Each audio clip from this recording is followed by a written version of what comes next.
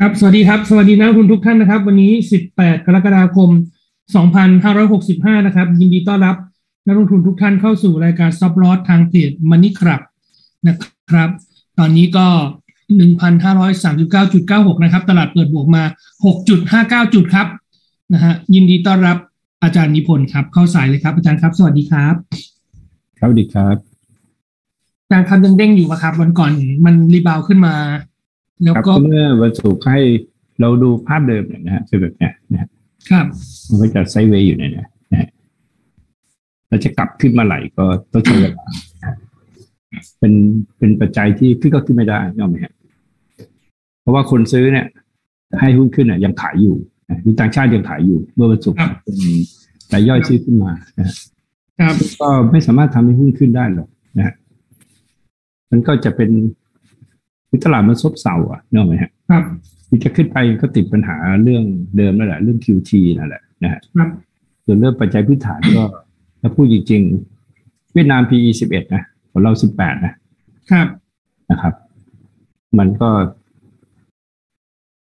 หุ้นบางตัวมันก็ยังแพงอยู่นะฮะอันนั้นก็ไม่ต้องพูดถึงเลยนะฮะปัจจัยหลักก็คือ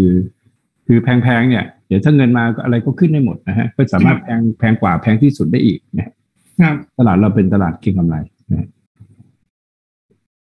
ก็ต้องบอกว่ามันไปก็ ถ้าเราดูทางเทคนิคเนี่ยนะฮะ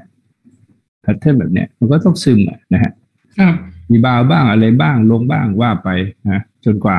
จะมีสัญญาณนะฮะก็ยังทำ low อยู่นะฮะ volume ตลาดก็ไม่ได้มากนะฮะครับมีบาวได้กี่วัน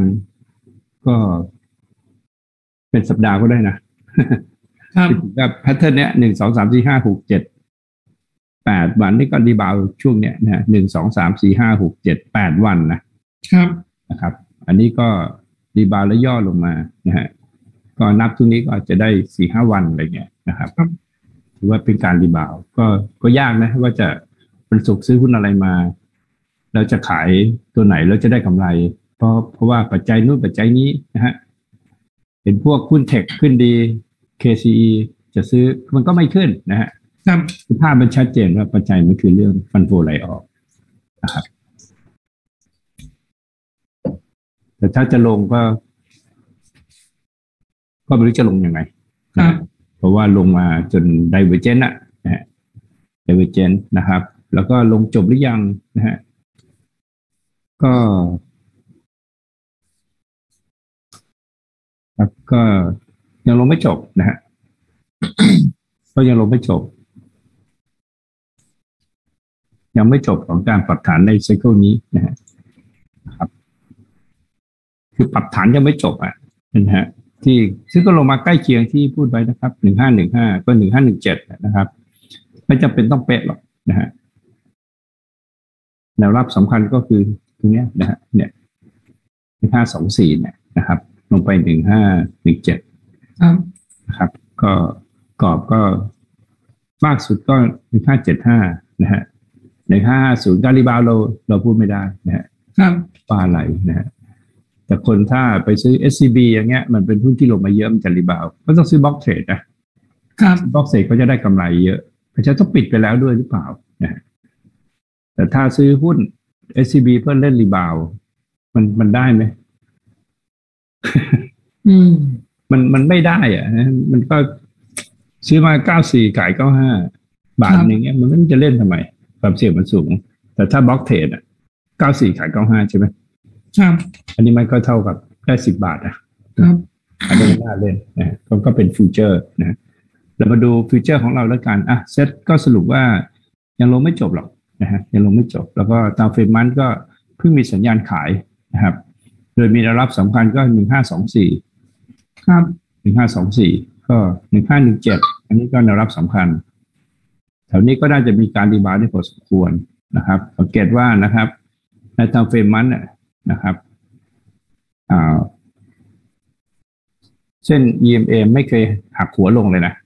ครับเรื่องหักหัวลงแล้วนะฮะก็ถือว่ามีการปรับฐานในระยะยาวด้วยนะฮะครับ การ rebound ระหว่างทางนี่ก็ต้องพูดตามทำเทคนิค นะตามเทรนด์ก็บอกว่าก็คือการ rebound แหละนะฮะมาดู TFEX นิดนึงนะฮะครับก็ก็เป็นกรอบเหมือนกันนะฮะกรอบ TFEX ก็จะเป็นกรอบนี้หรือขยาวกรอบนี้ก็ได้นะฮะคือความ safe ของเรานะฮะก็ได้อย่างมากก็ 950 นะครับครับอย่างมาก 950 กรอบล่างก็ยังเป็นอยู่เหมือนเดิมนะฮะคือกรอบนี้นะฮะกรอบเนี้ยสามารถที่จะเป็น reversal ได้นะ ถ้ากรอบนี้มีมีการ reversal นะครับ เนี่ยกรอบนี้นะฮะนะครับ สามารถสร้างรูปแบบกับกับตัวขึ้นนะฮะอันนี้อยู่ใน A อยู่นะฮะเป็น B อะที่ที่จะเด้งขึ้นแรงๆนะฮะครับก็สามารถทำได้แต่จุดต่ำสุดนะยังยังไม่รู้ว่าอยู่ตรงไหนนะฮะอาจจะครับแถวเก้าร้อยเก้าร้อยต้นต้นๆที่บาวกลับไปเก้าร้อยห้าสิบอะไรเงี้ยนะฮะครับ ก็ต้องติดตามไปนะฮะก็ใครลองมานะฮะสัญญาณรอคือแท่งนี้นะฮะในเขตนะครับ ในเขตโอเวอร์โซนะฮะเช้ามาจะปิดไปก็ได้ เพราะว่าเท่าไหร่ก็เอานะฮะอยากได้เยอะก็ลุ้นไป ครับอยากได้เยอะก็ลุ้นไปแล้วกัน ก็แก็บที่ห้ามปิด ก็จะหลุด 937.2 นะฮะมันก็แคบมากนะฮะ คือต่างชาติคงยังไม่ได้มาซื้อนะครับ ผมไม่ตกใจมาซื้อกลับอะนะฮะอ่าทองคำแนวโน้มหลักนะฮะของทองคำนะครับ ก็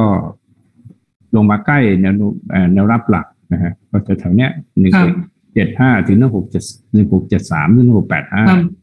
ก็จะอยู่ในช่วงของการ rebound rebound ก็ประมาณเนี้ยหนึ่งเจ็ดสามห้านะครับ แล้วก็ลงอีกนะฮะก็เป็นปัจจัยเดียวกัน นะครับ เป็นปัจจัยเดียวกันนะครับส่วนหุ้นที่แนะนำมานะครับ ในสัปดาห์ที่แล้วก็จะมีคือหุ้นพวกนี้นะครับ ก็จะเป็นหุ้นที่น่าจะน่าจะถือได้นะฮะในแง่ของพื้นฐานนะครับ แล้วก็แต่มันมันน่าจะเน้นเรื่องของการลงทุนถือยาวเพื่อแล้วใส่ stop loss มากกว่า stop loss ก็อยู่ที่ร้อยสิบนะฮะหลุดร้อยสิบก็ stop loss ไปนะฮะก็ค่อยๆขึ้น เป็นหุ้นที่เริ่มม้วนกลับระยะยาวนะฮะระยะกลางเริ่มมีสัญญาณซื้อแล้วกำลังจะเป็นขาขึ้นนะครับ มีหลายตัวนะครับ BGRIM ก็แนะนำว่าถือต่อนะนะฮะนะครับ ใครซื้อต้องรอย่อนะนะครับ ก็จะขึ้น เออใครซื้อมาตัวนี้ก็ เดือนครึ่งแล้วนะนะครับ แต่ก็คุ้มนะฮะสำหรับการลงทุนนะฮะอ่า BGRIM มีเคอรี่ตัวหนึ่งนะฮะที่เป็น pattern ของการลงมาแล้วเริ่มเริ่มขึ้นนะฮะก็เล่นก็ดูนะครับยี่สี่จุดห้านะฮะตัวพักพวกไม่ค่อยดีเท่าไหร่ที่ในอุตสาหกรรมเดียวกันนะครับ ก็จะประมาณนี้แหละนะตลาดหุ้นไม่ได้มีอะไรที่อ่าน่าสนใจก็มีถือยามา CKP ก็ มันไม่ใช่เรื่องการมัน พอดูหุ้นพวกนี้มันมันชัดเจนอะว่าตลาดมันไม่ใช่เรื่องของการเก็งกำไรนะมันเล่นสั้นมากเหมือนกับก็รอการสะสมหุ้นนะฮะรอเงินมารอเงินเข้ามามากกว่าที่อ่า ที่จะซื้อหุ้นนะฮะกำไรจากการซื้อหุ้นน่ะค่อนข้างที่จะยากนะฮะนะครับ แต่หุ้นที่บอกไปนะครับ CKP GPSC นะครับ บิกริม แล้วก็ CBG พวกเนี้ยหรือ BLA เนี่ยก็น่าจะเป็นหุ้นที่ BLA เนี่ยแยกไปเลยนะครับคือคือยังขึ้นไม่จบไซเคิลนะฮะส่วนอีไอ้ที่สามตัวที่พูดเนี่ยเป็นหุ้นที่เริ่มเริ่มขึ้นรอบใหม่นะฮะอืมก็น่าจะถือได้ ถือได้สามสิบเปอร์เซ็น port ก็ถือไปนะฮะไม่คือไม่ต้องไปกังวลกับมันนะครับ แต่ทั้งหมดก็คือต้องมี stop loss นะฮะครับพอ ใส่ stop loss ไปก็ มีเงินสามสิบเปอร์เซ็นถืออยู่ก็ อย่างน้อยยังติดตามอยู่ในหุ้นอยู่นะครับ ไม่ได้มีปัญหานะครับก็ก็จะประมาณนี้นะก็ APE ครับอาจารย์ครับอาจารย์นับนับเว็บ MBK ให้หน่อยได้ไหมครับ MBK พอดีว่าเหมือนผมเข้าวก่อนผมถามอาจารย์ไปหรือเปล่าไม่รู้แต่ว่าผมไปเปิดย้อนกราฟดู ถึงปีเอาเอาเป็นทำเฟรมเดย์ถึงปี 2019 อย่างเงี้ยฮะผมเห็นเหมือนก็ว่ามันตอนนี้มันกำลังอยู่ในสามของสามเนี่ยผมก็ไม่รู้เงินถูกหรือเปล่าก็เลยอยากให้อาจารย์ช่วยดูเราเรานับใหม่นะฮะเรานับจากปี 2020แหละที่มันต่ำสุดนะครับนะครับ มันก็เป็นหนึ่งสองสามนะฮะเนี่ยหนึ่งสองสามนะฮะไหนไหนอ๋อเนี่ยอะดูมันกันเลยหนึ่งสองสามนะฮะครับสามเพราะว่าไอ้หนึ่งก็คือสองนะฮะครับนะครับจริงๆมันก็คือของทางเฟรมวิกนี่แหละครับ เรามาดูว่าทางเฟรมวิกมันมันมันแสดงยังไงนะฮะอันนี้มันลงมาใช่ไหมครับ แล้วก็ A B C แล้วดูจุดต่ำสุดเนี่ย มันก็เป็นหนึ่งนะฮะอะหนึ่งแล้วก็เดี๋ยว A B C X A B C สองนะฮะเนี่ยเป็นสองละนะครับ เราจะเริ่มนับจาก time frame week นะอืมมันเนี่ย เราจะไม่นับนะครับนะครับ มันเราไม่ถือว่าในไซเคิลหนึ่งของของธุรกิจอะ ของเศรษฐกิจอะไซเคิลหนึ่งมันก็จะประมาณสัก อ่าสิบปีเนี่ย เราจะนับเราจะให้ไซเคิลหนึ่งไซเคิลกับหุ้นทุกกลุ่มหุ้นกลุ่มใหญ่ส่วนใหญ่แล้วกัน จะมีไซเคิลเดียวนะฮะแต่วีคจะมีห้าไซเคิลนะเราก็มานับหนึ่งอันนี้นับได้เลยนะครับหนึ่ง A B C X A B C นะฮะดูก่อนนะฮะถ้าเรานับตัวนี้เป็นเป็นเป็นเป็นเป็นเป็นเป็นหนึ่งนะฮะนะครับครับโอเคเป็นวีคก็เป็นหนึ่งใช่ไหมครับ เริ่มตัดลงมาก็นับ A B C X อะจบ C ตัวนี้แล้วกันนะอันนี้ก็เป็นสามนะแล้วก็แค่ตามว่าแล้วอย่าปิดย้อนลงมานะ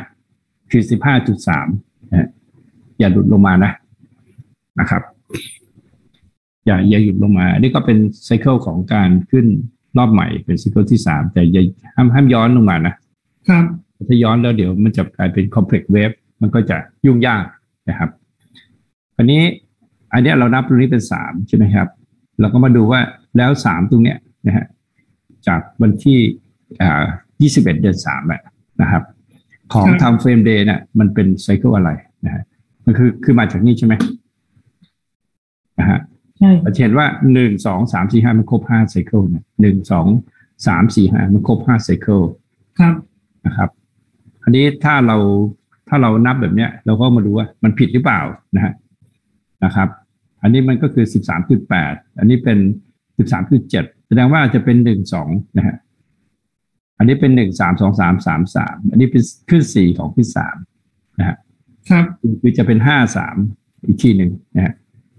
นะครับ แสดงว่าขึ้นเนี่ยอ่าอ่าของเท่าเฟรมเดย์นะครับ ก็เป็นเป็นการนับหนึ่งนะฮะสองนะฮะเพราะเพราะเพราะถ้านับอันนี้เป็นสามเลยอะต้องต้องเช็ค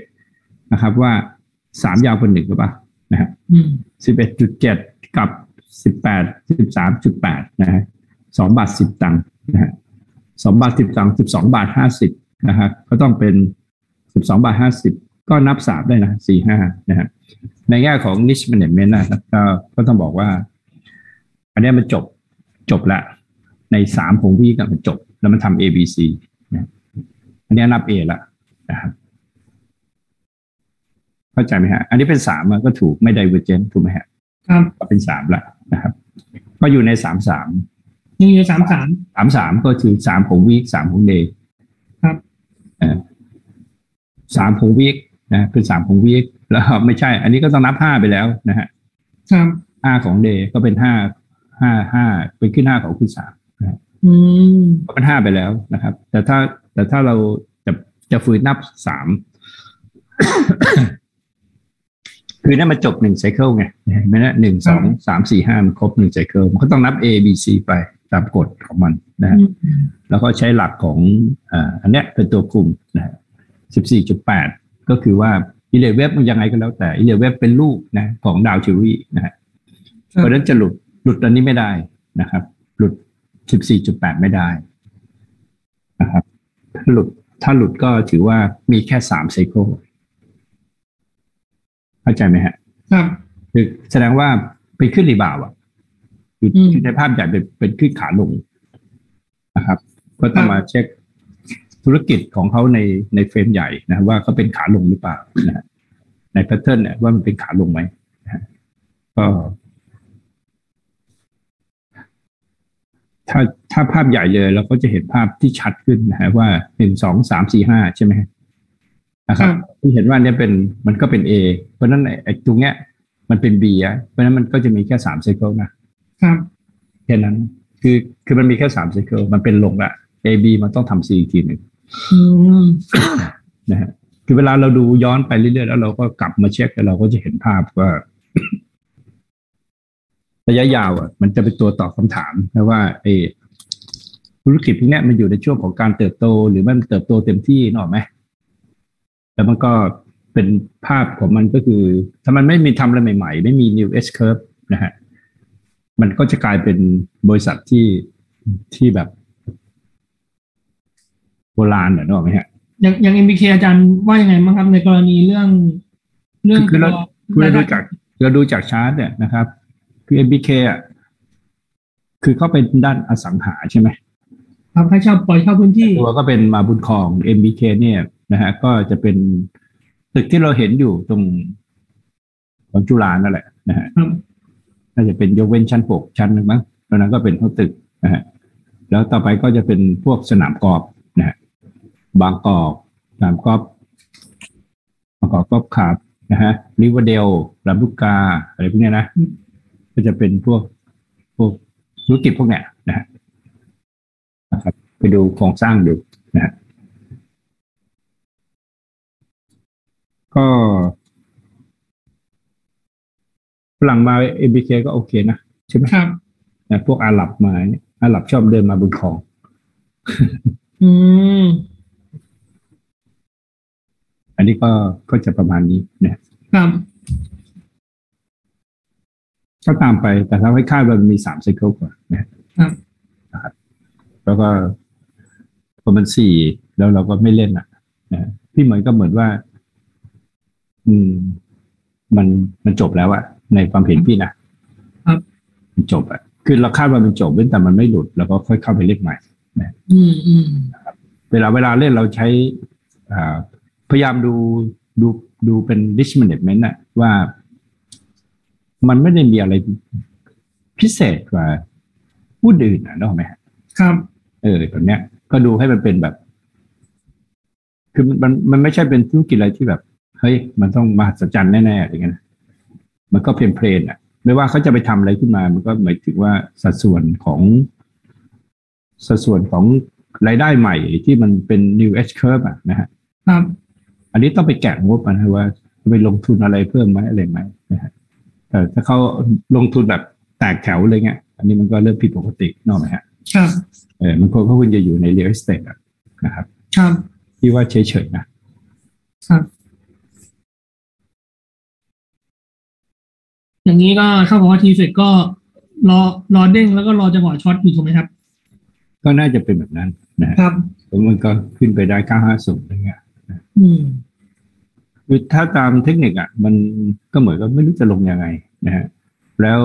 เมื่อวันศุกร์อะ ก็คงเป็นพวกเราเนี่ยแหละคาดว่าดาวโจนส์จะขึ้นเยอะนะฮะแล้วก็แต่ตอนเข้าวันเนี่ยต่างชาติขายลงมานะฮะครับต่างชาติขายกับกองอะ ขายลงมาเยอะนะฮะครับแต่ละย่อยอะก็ก็คาดว่านะฮะว่าไอ้ไอ้ฝั่ง n นสแ a q มันจะรีบาวด์นะฮะครับก็ดึงหุ้นขึ้นมานะครับ แล้วพี่ก็เชื่อว่าทั้งหมดเนี่ย สัปดาห์เนี้ยไม่ไม่ไม่น่าจะปล่อยให้หุ้นลงอะเพราะว่าวันที่ยี่ห้าเนี่ยไอ้ตัวของประกันจะเข้าตลาดใช่ไหม ครับเป็นผลประโยชน์มากมายมหาศาลนะถ้าเราดูตอนเราจ่ายเงินน่ะเราดูว่าเซ็นมันอยู่ช่วงตรงไหนอะมันแถวพันห้าร้อยห้าสิบใช่ไหมครับใช่ไหมพันร้อยสิบพันร้อยหกสิบอะเพราะฉะนั้นเวลามันเข้าตลาด มันก็เซ็ตมันต้องพยุงไว้อะไม่ให้ลงอะเพราะฉะนั้นสัปดาห์นี้อาจจะเป็นสัปดาห์ที่ คือหุ้นมันจะขึ้นแบบว่าไม่มีตัวเด็ดหรอก มันจะขึ้นแบบกระจายอะเนาะครับกระจายไม่ให้เราขายอะ ครับ ครับ ส่วนการเก็งกำไรก็ ก็จะมีกลุ่มกวนแก๊งอะไรเขาก็เล่นของเขาไปนะฮะครับเออก็ว่าเป็นกันไปตามนั้นนะฮะครับคือเราจะเห็นว่าเซ็ตบวกเก้าจุดนะแต่หุ้นไม่ไปไหน ถ้าเราแทนเออหุ้นมันไม่ไปไหนหรอกเราคือหุ้นจะไปไหนมันต้องมอง ไปไหนแล้วกำไรแล้วก็กระจายไปถึงทุกคนอะ มันน่าจะมองหุ้นขึ้นได้ห้าร้อยจุดนะฮะอืมถ้ามองหุ้นขึ้นสามสิบจุดแบบเนี้ยอย่างเมื่อวันศุกร์ก็เราก็แนะนำว่าถ้าจะเล่นรีบาวให้เล่น SCB นะฮะ เพราะมันลงมาเยอะนะครับครับเออประมาณเนี้ยนะส่วน ส่วนหุ้นอื่นก็ เราก็ยังอยู่ในในโรงในโรงไฟฟ้าอยู่นะฮะประมาณเนี้ยนะครับ ครับกค่อนค่อนข้างช่วงนี้ค่อนข้างที่น่าเบื่อเวลานะครับ ไม่ต้องเป็นรีบกลัวหุ้นขึ้นอะไม่ต้องกลัวครับ ครับ นะครับ แต่คนจะขายหุ้นก็บล็อกครับขาย SCB ตรงนี้มันร้อยสามเจ็ดอะ มันจะขายยังไงอะพอพอนึกภาพออกไหมของคนที่ติดหุ้นกับคนที่แบบจะซื้อหุ้นก็มีโอกาสลงครับคนติดหุ้นอยู่ จะขายก็ขายไม่ได้ มันเป็นอาการแบบเนี้ยมันเป็นอาการที่ที่แบบ อ่า ที่แบบว่าวันหนึ่งอะมันต้องกระทืบลงเป็นแรงๆอะให้ขายอะครับนะครับ ไม่งั้นมันก็จะไม่ขึ้น อืมอันนี้ก็เป็นระหว่างทางชักกระเยอะกันอยู่ว่าเอาไงนะฮะครับนะครับ ก็อย่างพอร์ตสามสิบเปอร์เซ็นเหมือนเดิมนะฮะครับลองดูลองซื้อดูแล้วมันขาดทุนให้มันขาดทุนไปหุ้นที่ผมบอกอะอืมแต่แต่ก็มีสต็อปลอสนะอาจจะไม่ได้อะไรนะฮะอย่าง CBG ซื้อมาจากร้อยสิบอะต้องขายร้อยสิบก็เอาขายไปอะไรเงี้ยนะฮะยังยังสับสนอุลหมาน นะครับครับช่วงนี้ก็จะถ้าคนเล่นหุ้นอย่างเดียว อย่างเดียวเลย ก็จะแล้วสลับตัวเล่นไม่ทันไม่ไหวอย่างนี้ก็จะน่าเบื่อน่าเบื่อมันต้องรอให้ตลาด คือต้องรอให้เงินเข้ามาวอลุ่มตลาดเป็นแสนล้านน่ะนะฮะอันนั้นน่ะถึงจะเริ่มทำได้นะฮะครับแต่การมาเล่นหุ้นที่ที่ภาพใหญ่เป็นขาลงนะฮะครับ อันเนี้ยมันค่อนข้างที่จะยากนะครับนะครับ คือพอถึงวันศุกร์ทีก็หวาดผวาทีมันจะขายกันเปล่าวะอะไรเงี้ยครับเออเอ่อมีวันหยุดมันจะขายกันเปล่าวะอะไรเงี้ยครับหวาดผวานะฮะก็หุ้นเล็กก็ก็ซื้อเยอะไม่ได้อะนะถ้าเล่นหุ้นเล็กอะซื้อเยอะก็เดี๋ยวไม่รู้ว่าไปขายใครครับนะครับ มันก็มันก็เป็นอะไรที่เขาเรียกมันอึดอัดนะครับ มันอึดอัดแล้วนะครับ ก็อย่าลืมว่า รอบปี 2008 ที่ขึ้นมานะครับ ประมาณปี 2012เนี่ยก็ก็ได้กันมาเยอะใช่ไหมก็สร้างเศรษฐีหลายคนเนี่ยจากไอ้ชิวเนี่ยที่อเมริกาฉีดเข้ามายุโรปฉีดเข้ามาใช่ไหมครับมันก็เงินก็เข้ามาที่เราเยอะนะที่แบบพุชทำให้หุ้นของเรามันขึ้นไปสูง ก็สร้างเศรษฐีใหม่หลายคนจาก QE นะครับครับตอนนี้มัน QT ไงมันจะเอาเงินกลับอะนะครับเศรษฐีบางคนเขาก็ไหวทันเขาก็เขาไม่เล่นเลยอะนึกออกไหม ครับรายใหญ่บางรายบางคนเขาไม่เอาเลยอะเขาถอยออกเลยอะนะฮะเขาพอเลยหยุดเลยอะนะฮะก็เหลือแต่พวกเรามั้งนะฮะอย่างพี่ก็ต้องอยู่พี่เป็นโบรกเกอร์ใช่ไหมครับเออก็ต้องพูดทุกวันต้องออกสื่อทุกวันก็พยายามเออก็มีทั้งคนต้องการเก็งกำไร คนต้องการลงทุนนะฮะเราก็ต้องพูดความจริงให้เขาฟังว่าตลาดมันเป็นยังไงนะฮะครับเป็นภาพที่เห็นนะนะครับ หรือมีอะไรเด่นๆมาอย่างเงี้ยอย่างอย่างสมมติเราจะแนะนำสักตัวนะฮะมันต้องเกิดภาวะ bullish ก่อนนะที่มันเป็นเป็นก็ค่อยแนะนำแล้วก็เหมือนกับเล่นกลางไปขายท้ายอะนะฮะอันเนี้ยมันมันจะง่ายสุด แต่ถ้าเล่นต้นอะต้นทางนะฮะอย่างบีกริมอะไรพวกเนี้ยถ้าเล่นต้นทางมันมันสามสิบมาสามเจ็ดเนี่ยมันห้าเดือนแล้วนะปอกครับมันห้าเดือนนะมันก็ นักลงทุนที่เป็นรายย่อยเขาก็ทนไม่ไหวนึกออกไหมครับนะครับแล้วมันก็งี่เง่าอย่างเงี้ยไม่ไปไหน แล้วก็ก็มีข่าวร้ายมาเดี๋ยวก็จะเป็น recession นู่นนี่นั่นคุณก็กลัวอีกนะฮะอืมเพราะฉะนั้นสภาพแบบเนี้ยมัน มันก็ไม่ใช่สภาพที่ต้องไปซื้อหุ้นเต็มพอร์ตนะครับไม่ถึงว่าซื้อก็ได้นะ ครับ แต่มันก็อาจจะต้องทนนานเนี่ยเป็นปีๆกว่าจะกลับมากำไรอะไรเงี้ยนะฮะแต่แถวอินเด็กซ์แถวพันห้าเนี่ยนะฮะ ไม่ถือว่าถ้าซื้อเซ็ตนะครับแต่หุ้นเนี่ยมันก็แยกแยะเป็นเป็นรายตัวนะฮะเป็นรายตัวไปนะครับ แล้วก็ต้องที่ว่ายากนะ ที่อยู่ดีๆ จะมีการพิมพ์ QE เข้ามาใหม่นะฮะก็ต้องรอให้เศรษฐกิจฟื้นเศรษฐกิจโลกฟื้น แบบจริงอะ แบบแบบของจริงอะไม่ใช่เอาเงินไม่ใช่ไม่ใช่พิมพ์ QE มาเพื่อให้เศรษฐกิจฟื้นน่ะนะครับของเราก็ก็ค่อยๆฟื้น ฟื้นมา GDP โต ซึ่งก็ยัง ยังไม่เห็นนะว่า GDP ของเราที่เติบโตตามประมาณการต่างๆ จะทำให้ตลาดหุ้นขึ้นได้ยังไงนะขึ้นไม่ถึงว่าขึ้นแรงๆไปที่ทุกคนอยากจะหลุดจากหุ้นขึ้นไปพันแปดสองพันนี้มันยังมองไม่เห็นนะนะฮะครับนะครับ มันก็เหมือนว่า เล่นน้อยๆเกาะตลาดไปแล้วก็เป็นประคองไป ประคองไปเออประคองไปแล้วก็ เหมือนที่พี่บอกอะคุณฝึกเล่นฟิวเจอร์หนึ่งคอนแทรคอะนะฮะอืมไปก็ยังเพลินกว่า ไปซื้อหุ้นแล้วก็แบบ วันนี้ไม่ได้ขาย SCB ฮะ สัปดาห์หน้าอัมลงเก้าสิบแล้วเลยแบบนี้จะเป็นอาการแบบเนี้ยนะฮะครับเดี๋ยวมันก็ขึ้นไปร้อยร้อยร้อยสามนะฮะเราขายที่เก้าห้าอะไรเงี้ยนะฮะแล้วก็มันลงมาร้อยสามแล้วนึกว่ามันจะไปต่อนะฮะเราก็ไปซื้อกลับใช่ไหมครับก็ลงเก้าสิบอีกอืม เป็นอาการแบบเนี้ยเป็นอาการแบบเนี้ยครับเอออาการแบบ เออได้ไปเถอะแล้วอย่าไปซ้ำอะนะฮะอืมแล้วเวลาดูก็ดูว่า ขาย SCB ไปซื้อเคบังก็ขึ้นเหมือนกันแหละ มันไม่มีประโยชน์ไงใช่ไหมครับเออขายข้ามกลุ่มก็ต้องไปดูเทคนิคให้ดี ครับ เออ ดูดูไม่เป็นก็ยากอะไรเงี้ย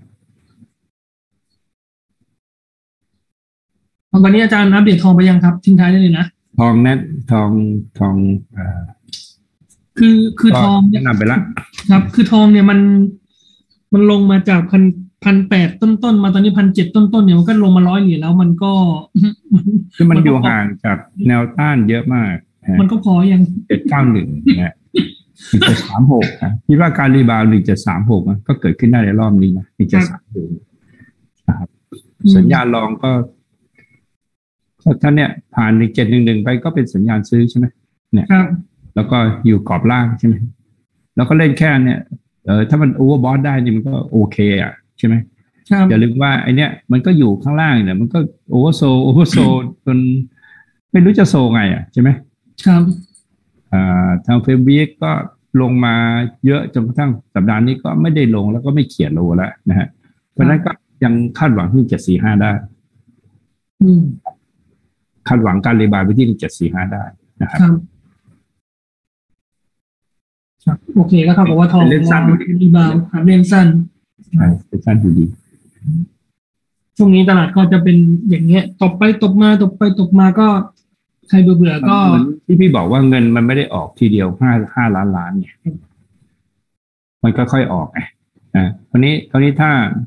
อ่าน้ำมันลงมาแล้วใช่ไหมครับนะครับ ราคาสินค้าโภคภัณฑ์ลงมา ไอ้เงินเฟ้อเงินเฟ้อพื้นฐานนั้นไม่ต้องไปพูดหรอกมันขึ้นแล้วอย่างค่าแรงค่าอะไรมันไม่เคยลงนกออกไหมฮะนะครับ แต่พวกสินค้าโภคภัณฑ์เนี่ยคืออาหารสำเร็จรูปอะมันขึ้นแล้วมันก็ไม่เคยลงหรอกถูกไหมครับแต่ตัวสินค้าโภคภัณฑ์ต่าง ๆ ไม่ว่าจะเป็นที่มันเป็นฮาร์ดนะครับ ไอแบบเป็นพวกโลหะต่างๆนะฮะพวกที่เป็นน้ำมันหรือว่าเป็นพวก soft commodity พวกเนี้ยอันนี้พวกขึ้นแล้วมันลงนะฮะ ไอไอวัตถุต้นต้นทางเนี่ยมันขึ้นแล้วมันลงนะฮะพวกนี้มันก็จะเป็นตัวที่กดให้เงินเฟ้อทั่วไปอะนึกออกไหมฮะมันจะรวมพวกพลังงานกับพวกไออาหารพวกนี้เข้าไปเนี่ย มันครับอาหารที่เป็นต้นทางเนี่ยเพราะฉะนั้นเงินเฟ้อมันยังไงมันก็ลงอะนะฮะนะครับ แต่ถ้าเป็นเงินเฟ้อพื้นฐานมันก็รอต้องรอปีหน้าใช่ไหมเพราะฉะนั้นเนี่ยไอไอตัวของไอ GDP ที่มันจะเป็น เป็นการถดถอยเชิงเทคนิคอะมันดูไตรมาสเนี่ยแต่จริง GDP เขาดูเป็นปี ครับเออถ้าทั้งปีอะมันไม่ได้ถดถอยหรอก มันไม่ได้ recession นะคฮะรับแต่ถ้าดูเป็นเทคนิคอะก็คือเขาดูว่าถ้าสองไตรมาสมันนู่นนี่นั่นเขาถึงยอมรับว่ามันไม่ได้ปกติไงใช่ไหมอืมเออเพราะเนี่ยสงครามยังไม่จบทำไมลงมาล่ะใช่ไหมอาจจะมีคนคิดว่า เออ เดี๋ยว เดี๋ยวหน้าหนาวยุโรปน้ำมันก็ขึ้นใหม่อะไรเงี้ยนะครับ ขึ้นเกิดขึ้นได้ไหมมันก็เกิดขึ้นได้ ใช่ป่ะครับ มันก็เกิดขึ้นได้อะแต่ถ้าเท่าที่พี่รู้คือว่า มันไม่ได้เกิดที่เขาพูดกันถึง supply shock อะครับไม่ได้ขาดแคลนไงใช่ไหมฮะแต่คนเป็นเจ้าของบ่อน้ำมันสถานการณ์วันนี้ใครก็จะยอมให้ราคาลงครับนะก็ให้มันอยู่ที่สูงนี่แหละนะครับอืมผลเงินเฟ้อยังไงยังไงพีท่ามันก็ลงแหละนะฮะครับก็ ลงสามเปอร์เซ็นต์แหละนะฮะเพราะฐานมันฐานมันต่ำแล้วมันจะอะบอกว่าค่าแรงมันจะขึ้นทุกวันเลยไม่พอไปกินก๋วยเตี๋ยววันนี้ขึ้นพรุ่งนี้ขึ้นวันนี้ขึ้นอะนะมันมันก็ไม่ได้เกิดมันเกิดกับประเทศเล็กๆใช่ไหมครับที่ไม่มีทุนสำรองระหว่างประเทศนะใช่ปะครับเออแต่ถ้าเราพูดถึงเงินเฟ้อของโลกอะมันก็เกิดจากประเทศใหญ่ๆนะฮะครับเศรษฐกิจฐานใหญ่ๆซึ่งมันก็ สุดท้ายมันก็ลงมาแหละนะครับ แต่ถ้าเอาลงเร็วก็เอาเงินกลับเร็วๆอะนะครับ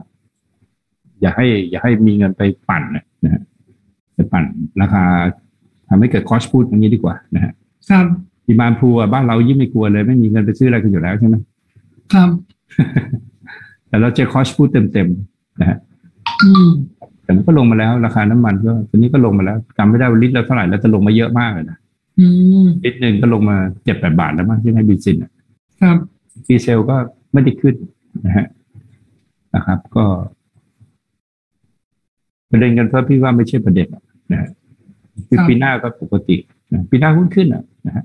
ครับปีหน้าหุ้นจะขึ้นปกตินะครับ คือถ้าไม่ขึ้นเนี่ย ก็แสดงว่า มันมีปัญหาถูกไหมครับมีปัญหาซึ่งมันใช้ QE กันมาสิบสี่ปีแล้วมันจะมีปัญหายังไงใช่ไหมอื มมันก็ยอมรับว่าเป็นนโยบายการเงิน แล้วเขาก็ไม่ได้ห้ามประเทศไทยพิมพ์เงินนะครับเออประเทศที่ไม่มีทุนสำรองนี่ก็พิมพ์ได้นะครับเป็นเงินเฟ้ออืมเป็นเงินเฟ้อไม่ใช่ว่าคุณไม่มีพลังงานนะคุณถ้าคุณไม่มีอาหารคุณก็โดนเล่นอาหาร ถ้าคุณไม่มีพลังงานแล้วคุณไปพิมพ์เงินคุณก็เดินเล่นเรื่องพลังงานครับนะครับ อย่างเวเนมีน้ำมันใช่ไหมแต่ไม่มีอาหารใช่ไหมครับเป็นเงินเฟ้อนะฮะคือมันประเทศใหญ่คืออเมริกามันคุมหมดเลยอืม ครับ ประมาณนี้ครับอาจารย์วันนี้ใช่ครับได้ครับ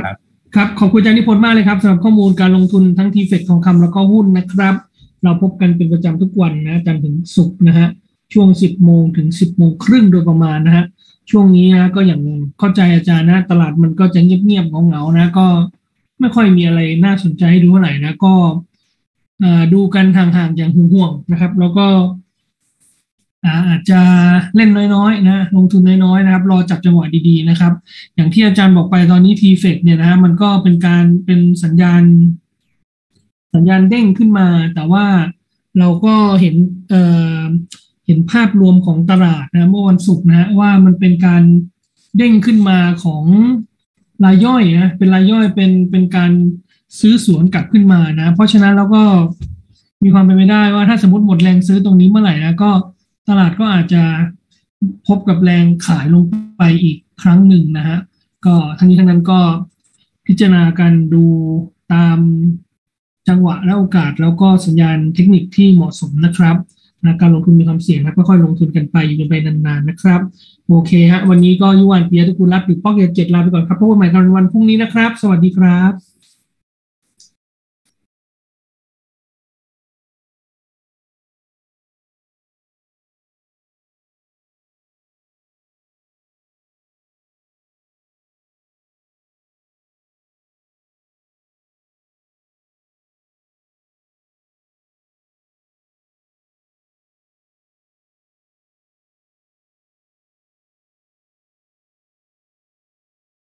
ช่วงหุ้นเด่น DW แรง สนับสนุนโดย m c q u a r i e DW28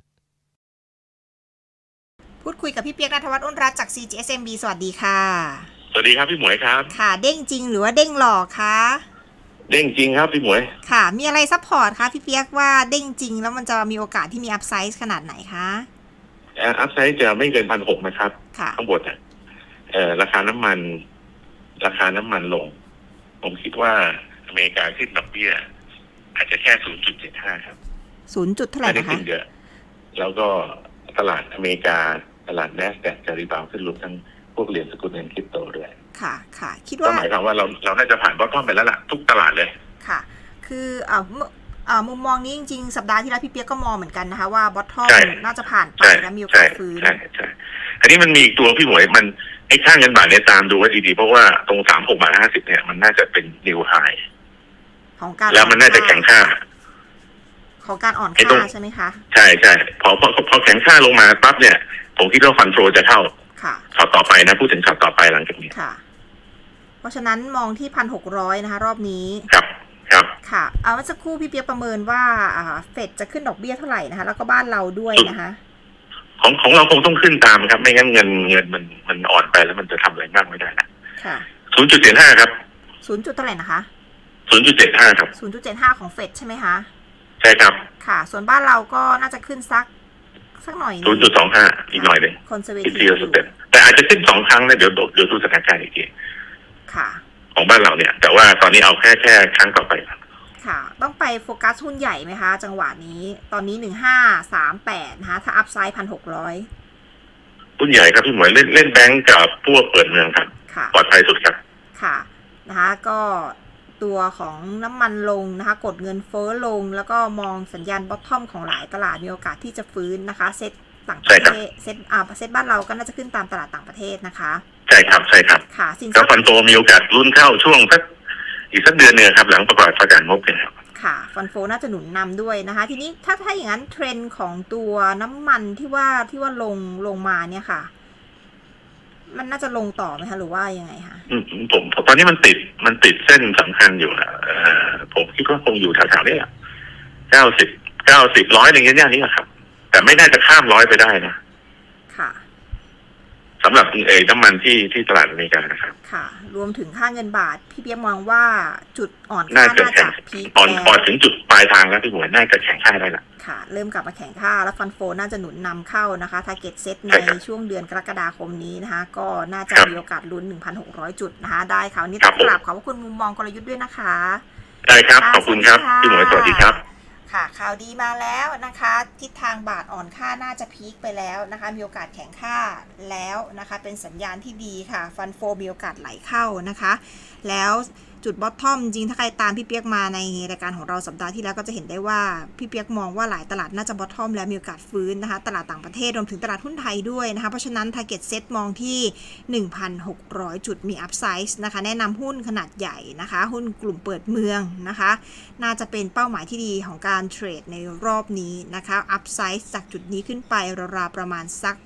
60-70 จุดนั่นเองนะคะ ก็สามารถเลือกหุ้นให้เหมาะสมกับโฟลที่กำลังจะเข้ามาได้นะคะ กลุ่มเปิดเมืองและกลุ่มธนาคารพาณิชย์ค่ะ รวมไปถึงการเก็งกำไรในตัวของ Set 50 ด้วยนะคะ ก็สามารถเล่นดัชนี Set 50 ได้นะคะ มองขึ้นนะคะ Target Set 1,600 หรือในกรณีที่ท่านต้องการเพิ่มผลตอบแทนให้สูงกว่าการลงทุนใน Set 50 อย่างเดียวจะมี DW ของค่า 28 m a c q u a r i e นะคะ ก็สามารถที่จะเก็งกำไรขาขึ้นล้อไปกับตัวของ SET50 ได้นะคะ จะมีตัวของ SET50 284 22 124นะคะของค่า 28 m a c q u a r i e ค่า Gearing 11 Sensitivity